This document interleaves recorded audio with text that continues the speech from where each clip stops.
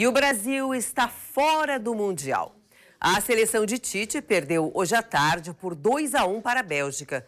Foi um jogo tenso e frustrante para os torcedores. Neste bar, no centro de Porto Alegre, todos estavam no clima do Mundial. A cada ataque do Brasil, uma esperança de gol. Mas quem marcou foi a Bélgica. O jogo ficou tenso, ainda havia esperança. Muito tenso, gente vai ganhar. Vai, vamos virar. A gente vai para cima agora, vamos virar esse jogo agora. Mas não aconteceu. Pior, a Bélgica fez o segundo gol numa rápida escapada.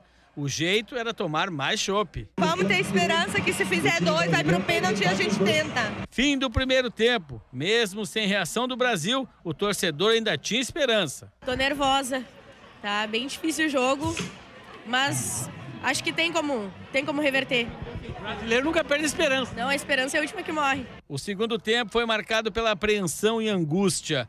O time estava mal. O gol de Renato Augusto deu uma esperança, mas foi a última vibração dos brasileiros no Mundial.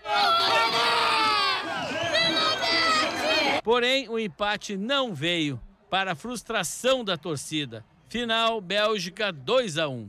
Fim de jogo e a torcida reconhece que a Bélgica foi melhor.